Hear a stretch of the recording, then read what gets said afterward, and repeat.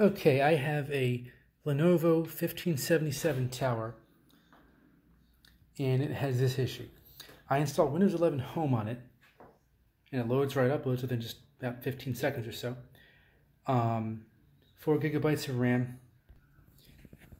Gets to the home screen in just a second. I don't have my Wi-Fi uh, antenna in there right now, so it won't connect to the net. But the issue that I've had, and I removed the original PSU from there and I put in a temporary one from a uh, short form factor, small form factor computer. But it was doing this. I go to the start menu and I go to shut down. And I shut down. And you expect the fan to stop running at some point, but it just keeps going.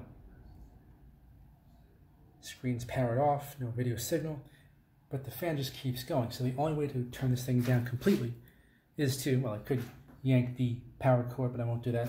So I just power down with the start switch, start button, until it goes down. There we go, it's finally powered down. And I don't know why this happens. Uh, I figured that changing out the RAM would work. It didn't. I changed out the power supply. Still does the same thing. But the computer runs perfectly otherwise. Has a 120 gigabyte hard drive, with a 250 storage drive, and the uh, Windows 11 is on this one, is on the SSD. And I have no idea why this happens. I've never heard about this thing happening before. Um, if any of you have had the same issue, um, do you just live with it by holding the power button down to turn it off, or um, do you pull it from the, you remove the power cord, or do you just allow the thing to just run? I don't know, I've done any fixes. Is this a BIOS issue?